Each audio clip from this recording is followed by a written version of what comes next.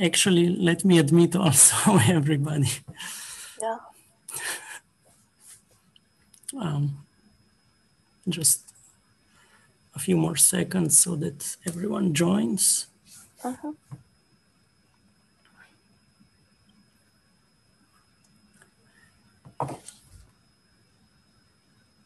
Okay, uh, good morning, everybody, and uh, good afternoon, Chunhan Feng. Um, it is a pleasure to welcome you, everyone, to today's seminar, uh, which will be given by uh, Chunhan Feng. And I would like to invite uh, our scientific host, Alexei, to introduce our speaker. So please, Alexei. Okay. Yeah, thanks, Dylan. So, uh, as Dylan announced, uh, Chunhan Feng will talk to us today about interplay of flat electronic bands with Holstein phone. Alexei, we don't hear you well. Please come closer to the microphone. Okay, so as Dylan announced, uh, Chunhan Feng will be talking today about interplay of flat electronic bands with Holstein uh, phonons. So Chunhan is doing her PhD with Professor Richard Scalettar at the University of California in Davis. And her interests are centered about interacting and frustrated many-body um, systems. So with this, um, let's welcome our speaker and Chunhan, the, the screen is all yours. Okay, thanks, Professor Andreanov. And good morning, everyone. My name is Chunhan Feng. I'm a fourth year PhD student at Department of Physics, University of California, Davis. And my advisor is Professor Richard Scalettar. Today, my topic is uh, interplay of light electronic bands with Holstein phonons. And this is the outline of my today's talk. I will talk about background first, and then I will introduce the Lieb lattice and also the Holstein model to you. And finally, I will talk about the method I used in this project and show you the results given by mean field theory and determinant quantum Monte Carlo method. Okay, let's start from the background. So uh, as we know in general, uh, energy usually depends on momentum. For example, for free fermions, we know the expression for the energy is h bar square over 2m times the sum of kx y z square. And another example is for uh, tight binding model. We have Ci Dagger Cj term, so like the electron is hopping, and Ij are the nearest neighbor here. And for example, for square lattice, we know uh, we can do the Fourier transform and then solve the matrix. Um, we will find the energy band is given by negative 2t cosine kx plus cosine ky. And another example is for uh, honeycomb lattice. So I write out the expression for honeycomb lattice. It looks a little bit more complicated, but we know the band structure is just uh, like uh, we will have Dirac cones in the honeycomb lattice. So my point is that usually we know the energy always depends on momentum kx and ky, but it's really amazing that there are some periodic tight binding lattices containing flat bands. And there are many examples like Kagome lattice, uh, decorated honeycomb lattice, and the dice lattice. And both Professor Flach and Professor Andreanov have very nice papers about this topic, uh, talking about the design and implementations of flat bands. So today I will focus on Lieb lattice, and the lattice structure is plotted on the left-hand side, and uh, on the right-hand side is the band structure. And we can see there is a flat band in the middle, which means here uh, E doesn't depend on Kx or Ky. Uh, in this case, E equals to zero, just uh, equal to some constants. That's what I mean by flat bands. And another point is that um, strong interactions usually make our life interesting, and people have some studies on electron-electron interactions in flat band system, including both repulsive and attractive um, interactions. And we know repulsive one can give us ferromagnetic ground state. And today I will focus on electron-phonon interaction, which usually give rise to charge density waves in the lattice. And actually, in the anti-adiabatic limit, um, the Holstein model will become quantitatively equivalent with the attractive Hubbard model. But I want to emphasize that um, although they are become equivalent with each other in the anti-adiabatic limit, but since the Holstein model break the spin symmetry uh, with CDW order dominating over superconductivity order, so that makes the CDW transition uh, happens at finite temperatures. And as a comparison, uh, Hubbard model, the transition only happens at T equals to zero. And another point is that when people talk about strong interactions, people means uh, when we look at the uh, interaction strongs, for example, in Hubbard model, U divided by uh, bandwidth W and actually, if we have a flat band, that means W is equal to zero. So that means the interaction is super strong if we have a flat band. And all of this point uh, will make this project interesting. And I will show you some results soon. Okay, so now uh, I will introduce the Holstein model to you. So basically we have three terms here. The first part is for the electrons. Ci sigma Dagger is a creation operator, which means we create an electron with spin sigma on site i. And Cj sigma is an annihilation operator, which means we remove an electron with spin sigma from site j. So this term is just like uh, the electron is hopping from site i to site j. And also it can go back from site j to site i. And here the second term mu is the chemical potential, and Ci, Dagger Ci is actually the density operator can be expressed as Ni. And we can change the values of chemical potential to control the density of the electron density of this system. And this is the second part of the uh, Hamiltonian for phonons. So we have phonon potential energy and also phonon kinetic energy. And omega naught here is just the phonon frequencies. And finally is the electron phonon interaction. So in Holstein model, for simplicity, we just use a constant lambda to represent the electron phonon coupling strength. And here xi is just the phonon displacement operator and CI, Dagger CI is uh, actually, again, just a density operator. And uh, in this project, we focus on the case when mu is equal to negative lambda square over omega naught square, and that gives us the half filling case due to the particle hole symmetry. Okay, before we move on, let's look at several limiting cases. So first of all is when t equal to zero. So that means the original Hamiltonian will be divided into many single side Holstein models, also at half filling if we cite mu equal to negative lambda square over omega naught square. And the single side Holstein model can be expressed in this way. And then what we did here is just to complete the square and then we can see actually we will have an, um, an up and an down term here. So the single side Holstein model is actually an attractive electron-electron interaction. And the U effective is given by this value, negative lambda square over omega naught square.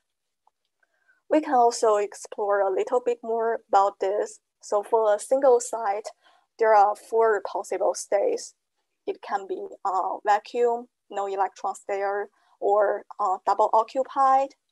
And if we view the last three terms as the potential energy for the system, and let's call it Vx, let's make a plot of Vx versus x, and we can see that when there is no electron, n equal to zero case, and when there are two electron, n equal to two case, as is shown in the blue and the green curve here, the minimum of the potential energy is just uh, zero. But when there is uh, one electron per side, um, can be spin up or spin down, as is shown in this right curve here, when n equal to one, we can see the minimum of the potential energy is given by lambda square over 2 omega naught square. So uh, we know electrons prefer to stay in a lower potential energy, and it also gives us some feeling why uh, we will see a CDW pattern in this model. Some of the sites are vacuum, and some of the sites are double occupied.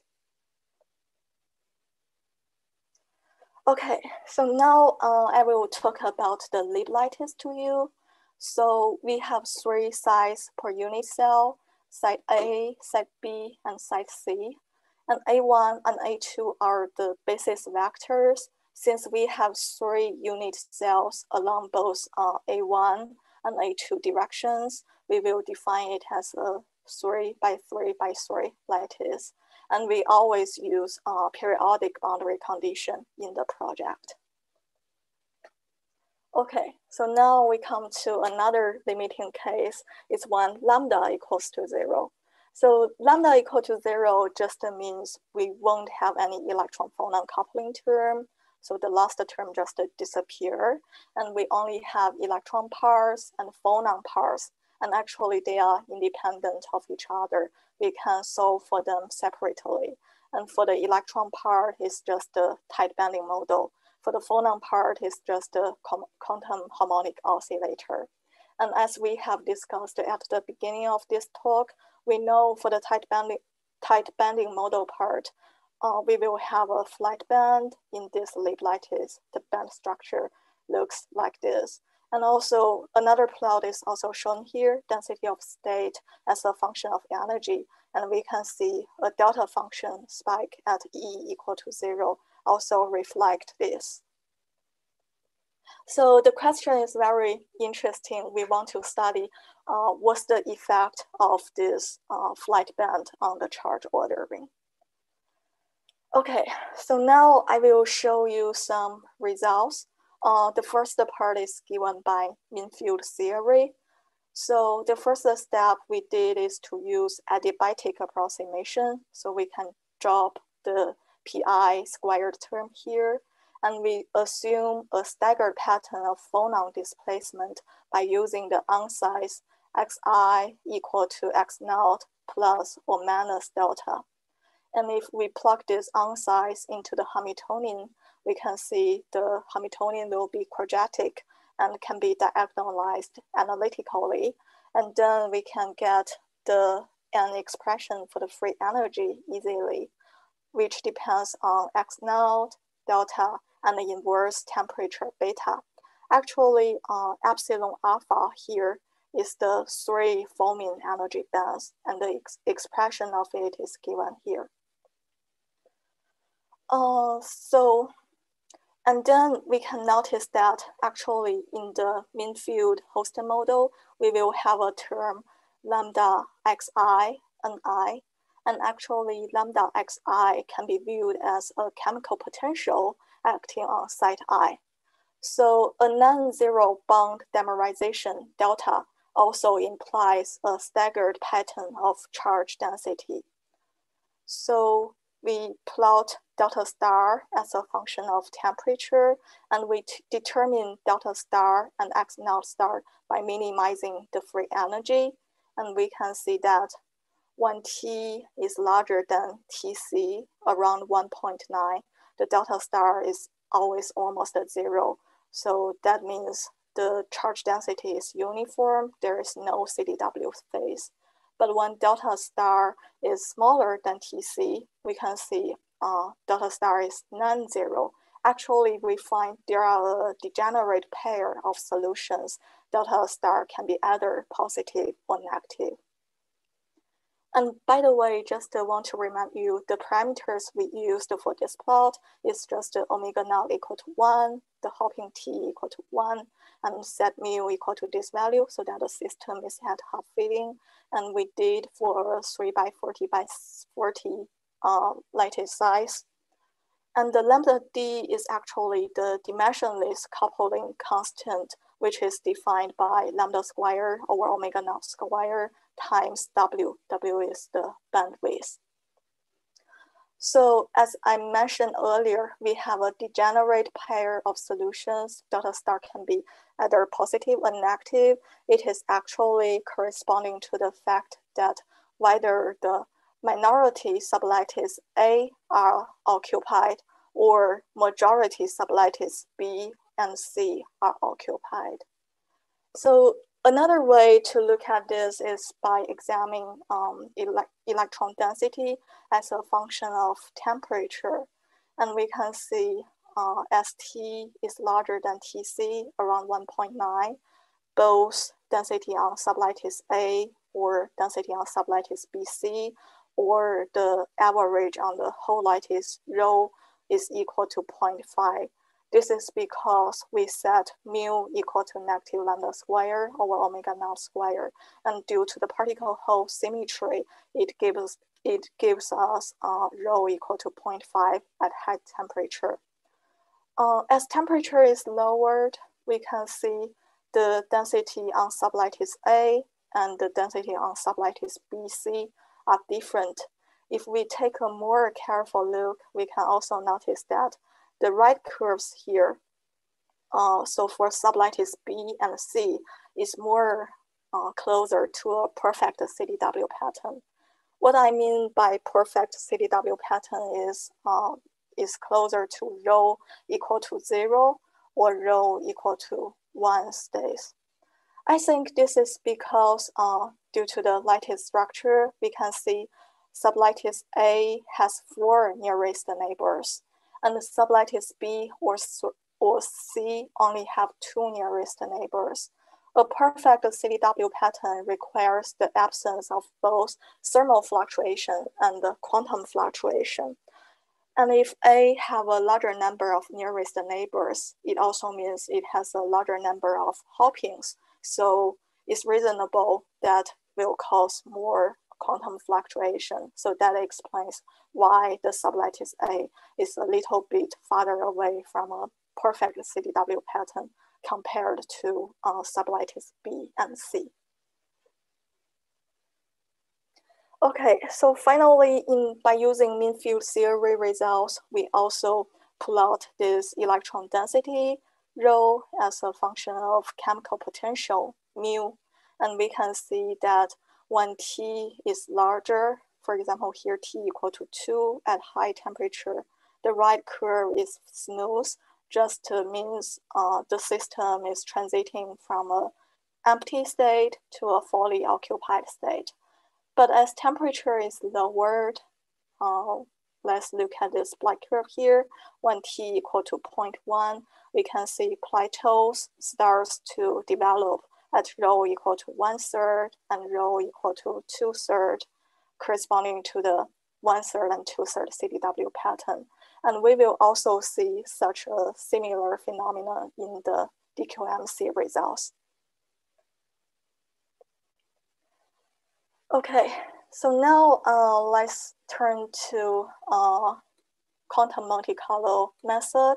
And before I talk about the DQMC method I used in this project, I will I would like to briefly uh, talk a little bit about classical Monte Carlo. Uh, Monte Carlo methods are referred to as computer experiments since computers are generating configurations with desired probability distribution. And one example is that when people were doing classical statistical problems, the probability of being in state n with energy En is given by the Boltzmann distribution. Pn equals to 1 over z times e to the negative En over kBt. And here z is actually uh, just a partition function. And we will have a master equation. It describes the time evolution of probability density. So here P nu t is the probability of having configuration nu at time t. And W from sigma to nu is the probability per unit time for the system to go from configuration sigma to nu. So it means uh, if we consider how this P nu t changes uh, versus t, there are two ways. One is uh, currently the it is at configuration sigma, other configurations, and then it changes from sigma to nu. So that increases the probability of configuration nu. So that's why we have plus sign here. And another way is that currently the system is at configuration nu.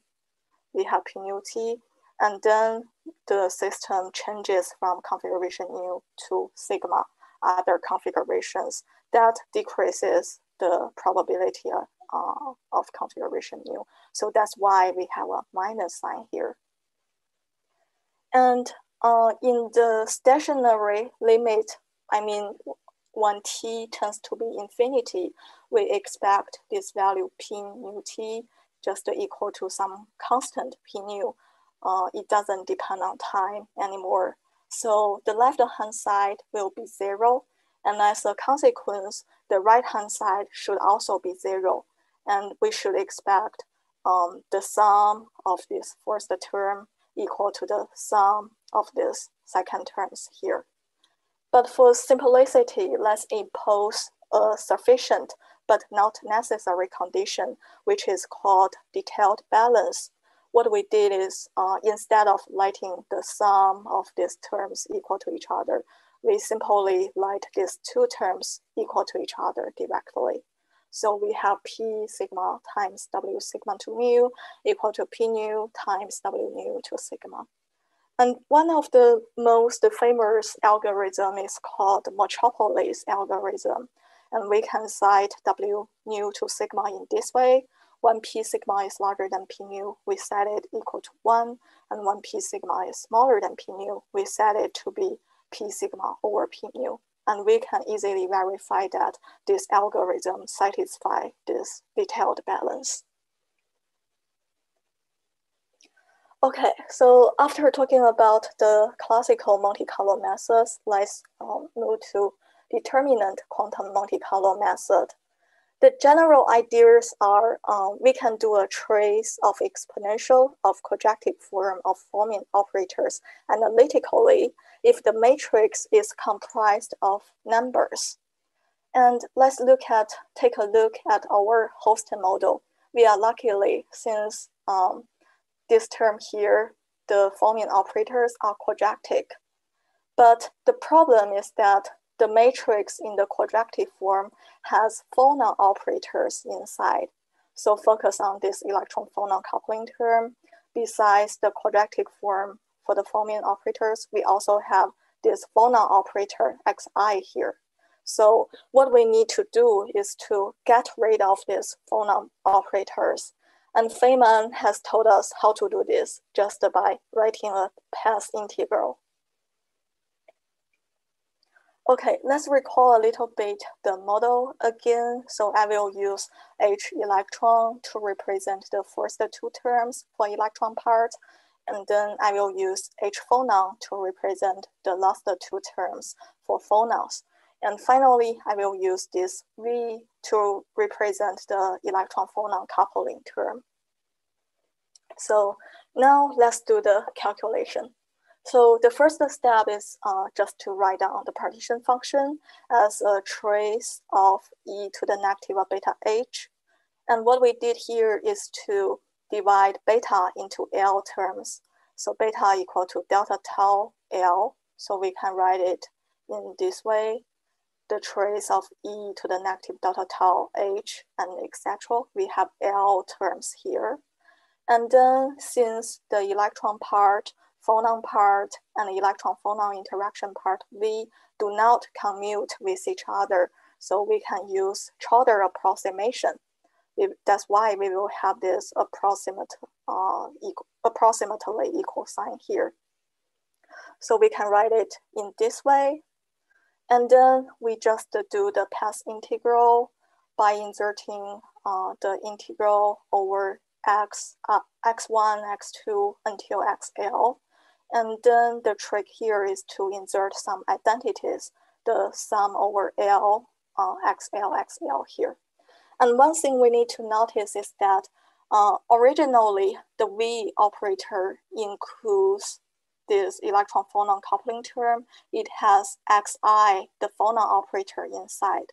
But after acting on this eigenstate of phonon displacement operator, the, oper the X operator in V will turn into some numbers. So after writing this uh, path integral, the original 2D quantum problem will be converted to a 2 plus 1D classical problem. Okay, and then we just write down uh, a few steps to do this calculation. And finally, we will have this expression. So the first part is just uh, given by the phonon part. And let's use e to the negative s bosons to represent this part here. And the other part is for the uh, electron part, just a trace of uh, many matrix. So now, uh, since V doesn't have any operators after we have done this path integral, so in the matrix, we only have numbers and then we can do the trace over them analytically. So um, on this slide, I just uh, write out the matrix form for the Hamiltonian for both electron part, H electron, and for the electron coupling term, V part. And by using some equalities, we can write the trace of many matrix as a product of two determinants. And one is for spin up part, and the other one is for uh, spin down part. Actually, in the Holstein model, spin up and spin down part are equivalent. I mean, actually, spin up and spin down play the same role in the in the in the Holstein model. If we write out the matrix, we can also see this clearly. So the matrix for spin up and the matrix for spin down are actually um, exactly the same. So instead have a product of them, we will only have a determinant square here so that's why we won't have any sign problems in the Holstein model, since these blue terms should always be positive, and we can view the blue terms as the uh, probability of this configuration, and then we can uh, solve for this problem as what we did for the classical um, Monte Carlo method. Okay, so now uh, I will show you some results given by this DQMC method. So first of all is the density-density correlation. And here I use the color to represent the density-density correlation values. And the first line shows the density-density correlation between all the size and the one in the black box here. And the second line shows the density-density correlation between all the size and the one in the right box here. So um, when beta equal to two, which means at a relatively high temperature, uh, Ni and Ni plus R are independent of each other. So the average of their product should be approximately equal to the product of their average. And since we are at half filling, each of them Ni average and Ni plus R average just gives me one. So the product of them should also gives me one. So that's why at high temperature, we expect this density-density correlation is around one. Like uh, in the color bar is the blue color. And as temperature is lowered, beta is increasing, we can see a CDW pattern starts to form. And at a very low temperature, beta equal to 10, we can clearly see that this is actually a one third filling CDW pattern. And what we can see here is the site in the black spot is double occupied. And also all the other, uh, this A sublattice is also double occupied. So we have two electrons on that side and two electrons on this side. Two times two gives me four. So that's why the color is right close to four. And the second line is actually uh, the density-density correlation with respect to the one in the red box. Since it is at a one-third CD, uh, filling CDW pattern, the, this side here is actually vacuum. So the density-density correlation between this side and all the other sides should give us zero because this side is vac almost a vacuum actually. Okay, and then uh, here is another plot given by different random uh, seed in the simulation. And this just give us another degenerate ground state, which is corresponds to a two-thirds filling CDW pattern. And the story is similar at high temperature, beta equal to two, we still expect um, the product of them should be equal to the uh, product of their average since they are independent of each other at high temperature, just to give us one. And at low temperature, for example, when beta equals to 10, we can see a two-third filling CDW pattern forms. And actually the site here in the, in the second line in the black box is double occupied. So all the other uh, BC sublattice are also double occupied and that gives us four uh, for this density-density correlation. And the first line is with respect to the set in the left bottom corner. And this site is vacuum in this two-thirds filling CDW pattern. So all the density density correlation between this site and other sites just give us almost a zero, the dark blue color. Uh, and another way to study this is by uh, looking at the electron density rho as a function of inverse temperature beta. And the results are given by several different random seed in our simulation. And we can see uh, when beta is small, so temperature is high, the density is given by um, 0.5 because we have already set mu equal to negative lambda square over omega naught square. And due to the particle symmetry, it should give us half filling. As, temp uh, as temperature is lowered and beta increases uh, from around beta equal to 5 to beta uh, around beta equal to 9, we can see the points starts to fill in the region between the lower and the upper uh, density values. This is because um, in the course of a simulation at a finite uh, lattice and also at a finite temperature, tunneling can happen between the two minimum point, one third CDW pattern or two thirds CDW pattern. So the density can take any values between one third or two thirds, uh, just depending on the relative amount of time staying at one third filling CDW pattern or two thirds filling CDW pattern. As temperature is further lowered and when beta is equal to 10, we can see clearly there are only two clear lines corresponding to uh, rho equal to one third and two third that corresponding to the two degenerate ground state of the system. Okay, except for that, we also um, plot density per spin rho as a function of chemical potential mu here. And we have already seen uh, similar results from earlier mean field theory results. When beta is small, that means at high temperature, the right curve is smooth. It just uh, means uh, the system transits from a vacuum to a fully occupied space. And as temperature is lowered, when beta equal to 10, in the black curve, we can see plateaus starts to form here uh, at rho equal to one third and two, two thirds. So the different, unlike other bipartite lattice, we will have a complete plateau in the middle at rho equal to 0.5 in this case, the plateau is bifurcated by an abrupt jump that also indicates when mu is smaller than negative 4, the, um, the system is at a one-third filling CDW pattern.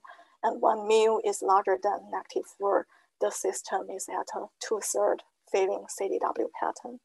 And the result is also consistent with the mean field result, mean field theory result. Okay, so finally, uh, our DQMC results also give us the double occupancy as a function of inverse temperature beta. And uh, it is defined as average Ni up and Ni down times Ni down. And uh, similarly, when beta is small, so it means at high temperatures, we expect Ni up and Ni down are independent of each other. So each of them should gives me 0.5 and the product of them should gives me 0.25. So that's why uh, we have 0.25 here, sorry. And then when temperature is lowered, beta increases, we can see double occupancy increases to 0.5, which means pairs starts to form on half of the lattice size. So that's why we have a plateau here. Double occupancy is around 0.5. And then similar things happens. Uh, we have many points just to fill in the region between the lower and upper bound, just because tunneling happens during this simulation.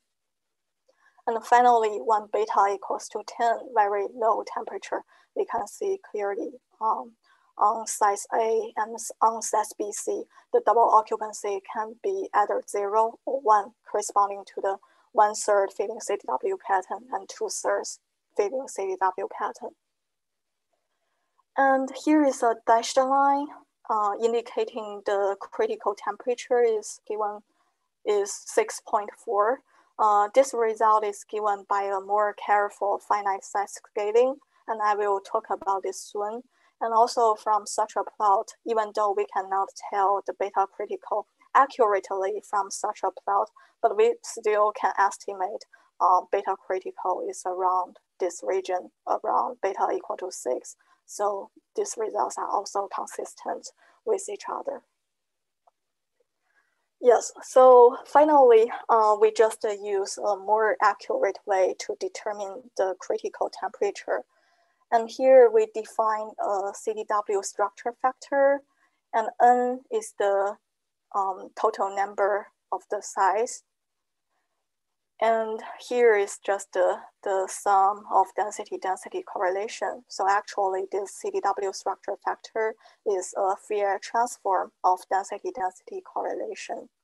And since at low temperatures, there are two degenerate ground state, one third filling CDW pattern, two thirds filling CDW pattern, it breaks, breaks a Z2 symmetry so it is in the 2D Ising universality class, and we can directly use the known um, 2D Ising universality class critical exponents, beta equal to 1 over 8, nu equal to 1, and to do this finite size scaling. And then we will see SCDW should be proportional to L to the power of 7 over 4 times some function uh, of T times L. Uh, here, L is just the lattice size, and T is actually the reduced temperature, T minus TC or TC.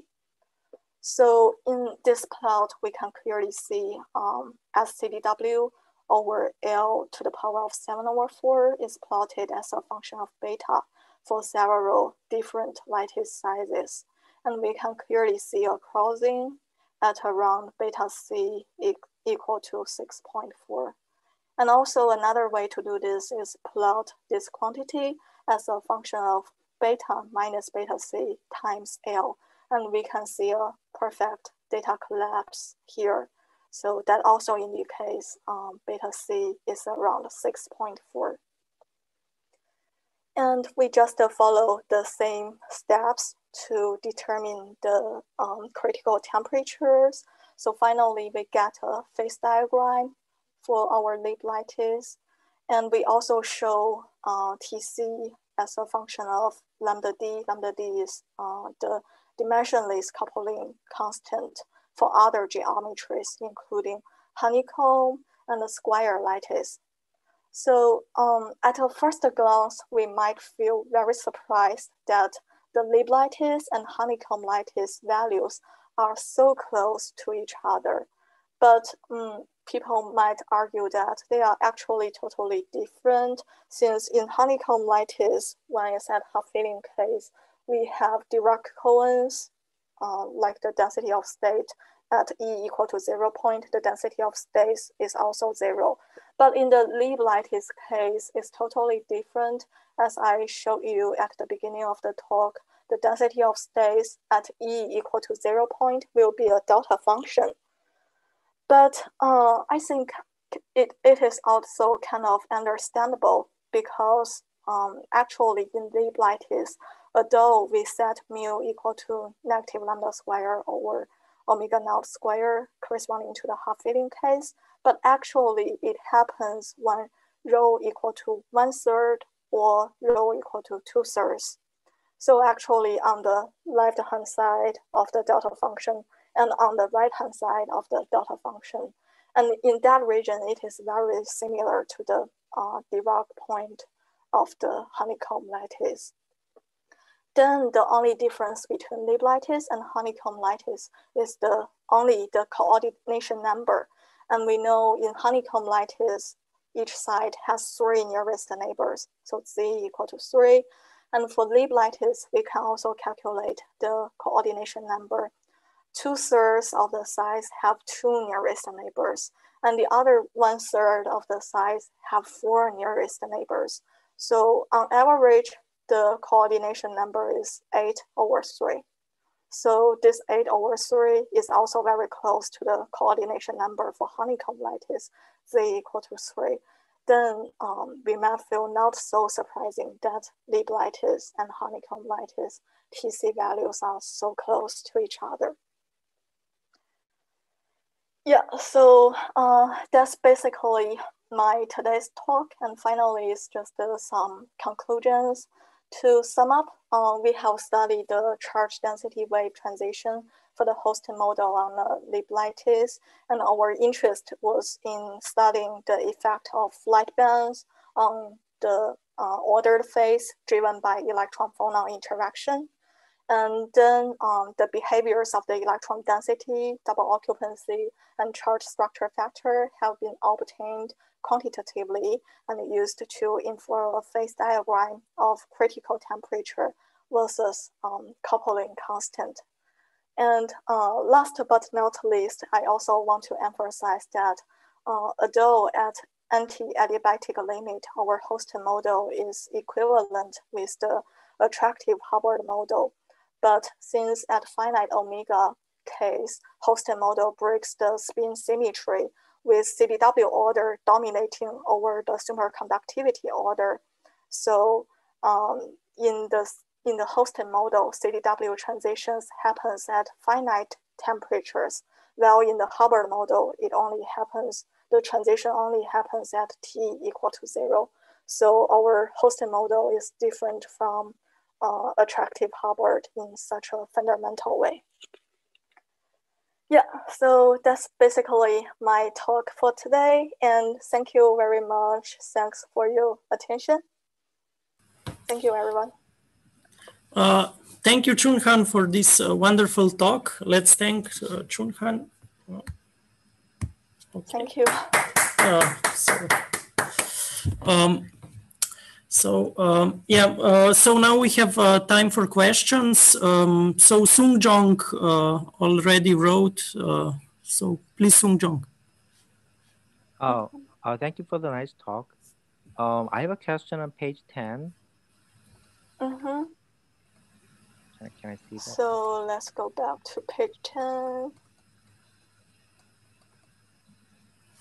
Um, I mean, when when you like the include the the interact the the coupling between phonon and uh, the electron motion. I think uh, you use the uh, spe specific ansatz for phonon mode, and uh, like I guess I mean that specification of the phonon mode uh, has some effect on the charge density wave for the electron part.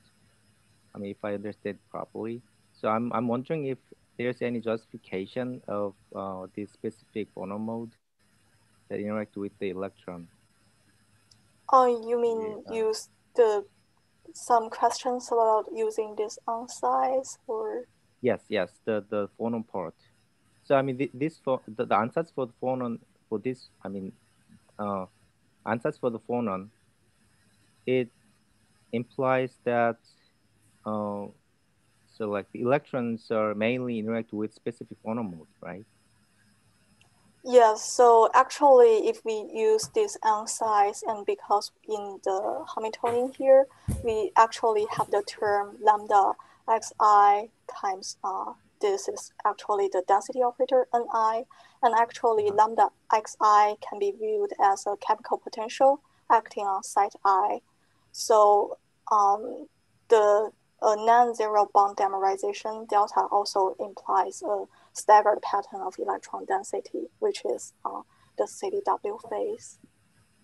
Uh, so my question is like that staggered form of the, I mean, delta, mm-hmm. does it, it, it, should affect the electron, I mean, it should affect, it should have some, um, how can I say, um, so CDW is excited due to this staggered phonon, uh, I, the interaction with the staggered phonon mode, right? So if, if you if you gen if you general I mean if you include all the generalized phonon mode, does it still like uh, make the system have um, what is it the uh, the charge density wave like this? Yeah. So yeah, I think you are right. The charge density wave will um, have will have such a pattern. And as is shown in this plot here, and we can see when t is larger than this tc, the delta star is actually zero. So the it, the delta star is zero, it also means the density is uniform. And if delta star is non-zero, it then also suggests the electron density is not uniform, have a staggered pattern. And that is the CDW phase. Oh, okay. I see. Yeah, thank you. Okay, we probably can discuss a little bit more later. Yeah, yeah thank you for the question. Okay, um, we have enough time for other questions. Um, so since I don't see any raised hands, let me uh, start maybe. So uh, basically, uh, you see that uh, Monte, uh, uh, sorry, that mean field is actually works very well, right? So basically, the difference is just uh, the critical temperature uh, kind yeah. of mm-hmm. um, but so. but uh, kind of the behavior is captured right um, yes exactly yeah mm-hmm. and uh, yeah i mean the nice thing is that uh, determinant quantum qmc right gives you uh, critical exponents i mean you get the scaling so you really yeah. show that that it's the 2d Ising class right mm-hmm. Um, but uh, maybe a question. So, uh, what would you expect uh, then for other uh, flat band models like uh, DICE or Kagome if we stay in 2D, uh, for example? Um, -huh. Could you say something or? Mm, I think the other flat band models is also very interesting, and I'm probably do not have a very direct feeling uh, to say what will happen in other flat bands. And also, uh, our group is also studying uh, this host model on other uh, lattice, also including flat bands. Um, for example, I think because for this um, for this Lieb lattice geometry, it is like this, and if we have a CDW pattern, uh, we can think about is reasonable that it has one third or two thirds filling CDW pattern. But for other geometries, if it includes flat bands, I think it also depends on the geometry itself. It probably be more complicated. Yeah, but I'm not mm-hmm. have a finite have a final conclusion about this. Yeah, I think it's also very interesting problems and um, deserve to have some simulations for those problems too. Yeah. Thank you for the mm -hmm. question. Uh, thank you. Uh, we have a question from Sergey. Yeah, I have a follow-up on uh, Tilen's uh, question. So, what uh, what do you think will happen if you uh, if you gap your flat band away from the dispersive bands? Uh, in your case, the flat band is sitting at energy zero, and there are these conical intersection points. you could, in principle, easily perturb your Lieb lattice such that you preserve even uh, all the symmetries, but such that you will uh, open um, a gap uh, between the dispersive band and the flat band. That is question one. What what would what is your intuition telling you? Uh, what will happen with your uh, results, in particular with your transition points, and maybe the charge density wave properties? And the other question related to that is, or second question is, what do you expect will happen if you place your flat band at the very bottom of your single particle spectrum? Right now, it's somewhere sitting in the middle. But let's say we put it into, uh, like in the Kagome uh, lattice, we put it into the, uh, it will be located at the, it will be the ground state, or so to say, of the single particle uh, eigenvalue problem. What would be then your prediction or expectation? Mm, thank you for the question. So for other uh, systems, like for example, for uh, Kagome lattice, I think um, is uh, a frustrated system. So unlike uh, square lattice or honeycomb lattice or this Lieb lattice, we will have uh, a perfect CDW pattern is zero double occupied, such things. Um, but in other um, triangular or um, Kagome we, we have a, a triangular there and maybe just uh, one third of them can be double occupied and the other uh, size should be uh, vacuum and or yeah or the in, inverse thing.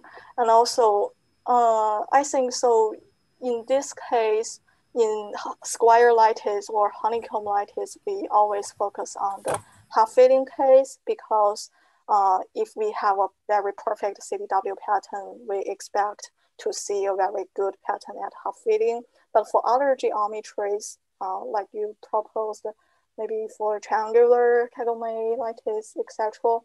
Uh, the situation might be different. So we might should also see uh, how it changes when we change chemical potential and see the electron density maybe at one third filling or two third filling cases like that. But um, I didn't have a final conclusion about what really will happen for those two cases. Mm -hmm. And but uh, sure, thanks. But uh, could you again then comment what would your what what will be your expectation if you just stay with the Lieb, but you perturb it such that you open the gap between the two dispersive bands and the flat band? Is there any will that gap have any impact on your or modify your results? Uh, you mean so you can stay at half filling, you just do everything you did, but you you have a different uh, single particle spectrum, which will now have a gap around, around uh, so actually, I, I didn't hear you very clearly. So the question is, um, well, imagine you take this this, this uh, single particle spectrum, which you show here in the bottom right figure, and uh, -huh. but now you open a gap uh, around the flat band. So the two dispersive bands do not touch the flat band, but uh, stay at a finite distance away from it we will call this distance gap. Uh, uh, how will this finite non-zero gap uh, impact your results? A non-zero gap. Mm -hmm. Is there any anything you can say? So, I guess it might uh, not in, influence my result uh, quite a bit. I um, because so actually, in this model, even though uh, we set mu equal to negative lambda square over omega naught square and corresponds to the half filling case due to the particle hole symmetry, um, but it rarely happens, the CDW pattern rarely happens at rho equal to one third, so below the flat band, or mm-hmm. rho equal to two thirds, um, uh, uh, I mean, above the flat band. So I think if there is a gap between the point and this two point doesn't touch each other, it might also be the case like what I see here. Yeah, that's that's my guess. And I think um, another thing I also want to explain a little bit more is that uh, in this project, uh, there is some analogies to the magnetic model. For example, Ising model, uh, when there is no external magnetic field. Uh, because in Ising model, when there is no external magnetic field, it, we expect the magnetization M equal to zero for that case. And mm-hmm. just like in, in our case, when T is larger than Tc, we have half filling uh, for the, uh, when temperature is high uh, for this system, when mu is said to be negative lambda square over omega naught square. But when T is lower than Tc, as we can see in the Ising model, uh, even though due to symmetry, we expect magnetization to be zero, but actually there are two ground state um, for the Ising model when T is smaller than Tc, with uh, magnetization either be positive or negative. So the analogy is that in this case, um, the electron density is just like the magnetization can be one third or two third, but on average, it's still half filling. Yeah, so that's my uh, additional explanation for this point. And yeah, I think if I have a gap in the middle, we probably can see some similar things. Yeah, but it also deserves some other simulations to verify this point. Okay, thank you. Thank you.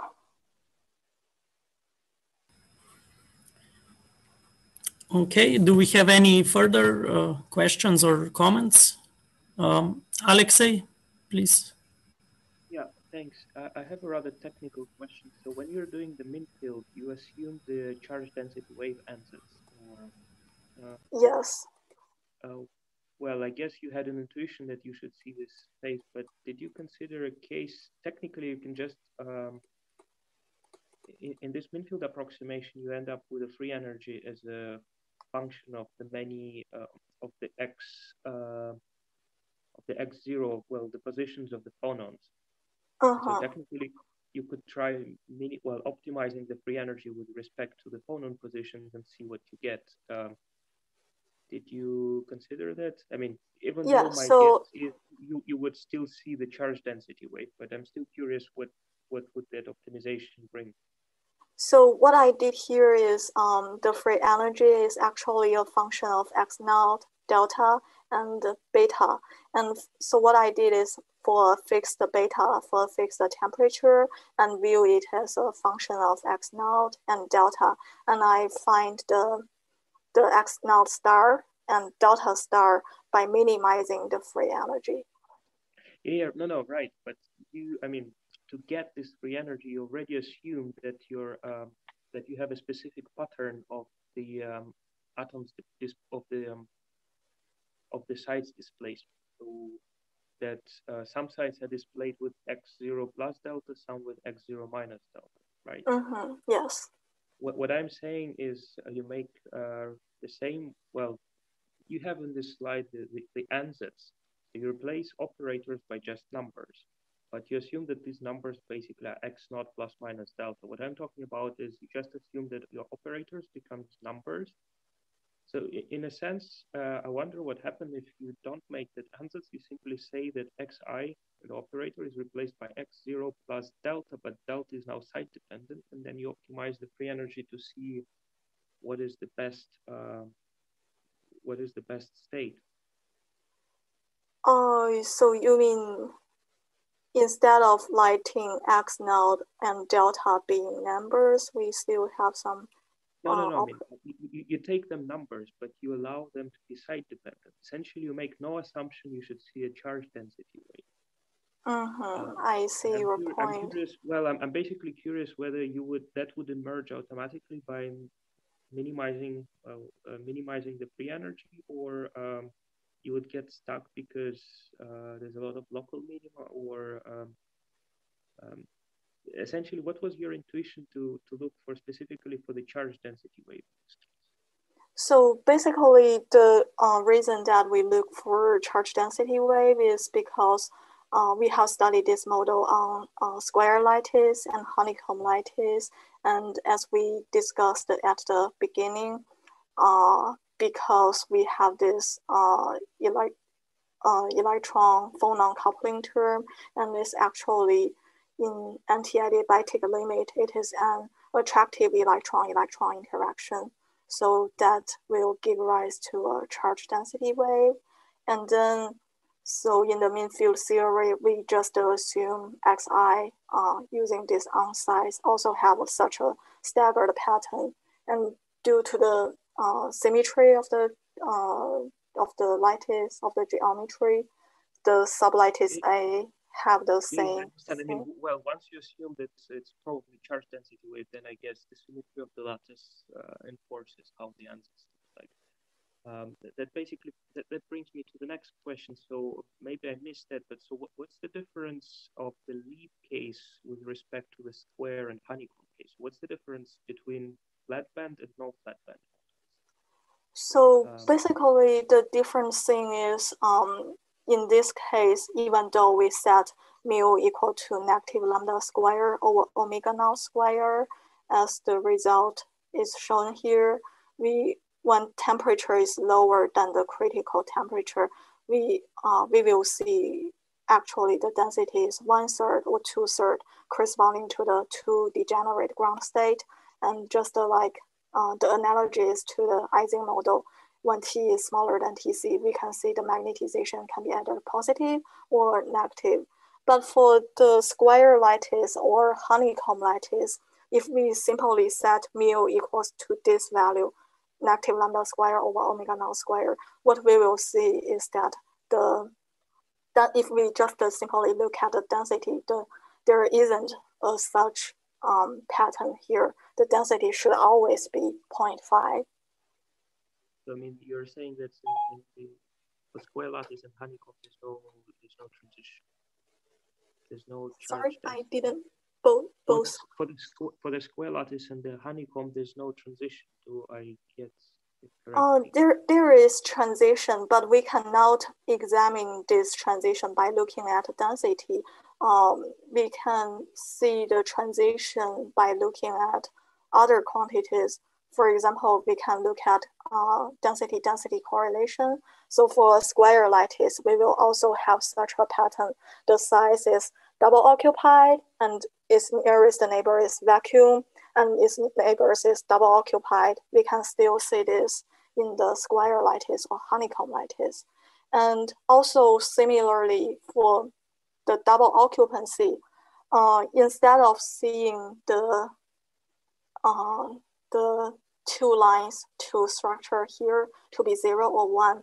In honeycomb or, square, or square lattice, we will only see uh, it increases first since uh, at high temperature, it they are independent, give us 0.25.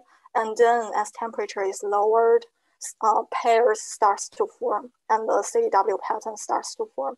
So it will always stay at this 0.5 uh, point for the double occupancy for square and honeycomb lattice. Uh, yeah, but if we look at this um, charge density density correlation, we can still see such a pattern in honeycomb and square lattice. But uh, the only different thing is we cannot see such a signal uh, in the electron density. We, we won't see one third or two third filling case, but it should always be half filling for the honeycomb or square lattice. Okay, thanks. Thank you.